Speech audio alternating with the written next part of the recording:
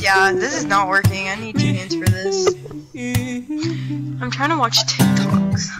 I'm so tired Before I go live in a minute. minute. what we used to be. I'll be there. I'm definitely not gonna Why come in. do I'm I definitely gonna think just I get can lost. change you when all mm-hmm. you ever say is why can't I just Bro, stay this way? I'm, no, I'm literally gonna do it on my like really good Tik. I mean Instagram, the one where I have everyone on, on it. I'm gonna do on that Instagram, just so like a thousand people will join and then they get to see me commit suicide. What do I do now?